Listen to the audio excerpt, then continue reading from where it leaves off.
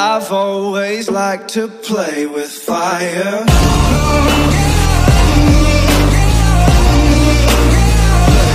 Fire. I've always liked to play with fire. Gacha Life Vines number three.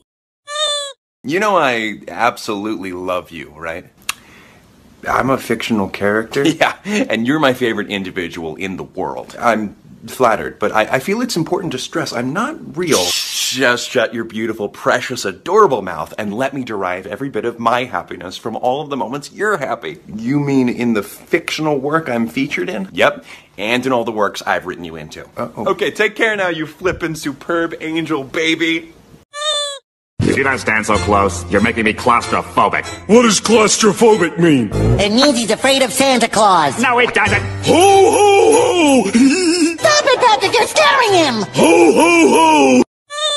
I can't find it. What are you looking for? My happiness. Yeah, how much money do you have? Oh, like 69 cents. Uh, you know what that means. I don't have enough money for chicken nugget. Wake up, dear. Time for school. Oh. You're already here. No!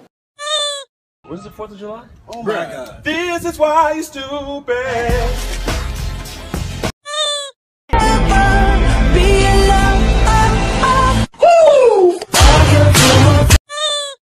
My best friend. If I'm dying, you dying with me. What? How could someone be so adorable and hot at the same time?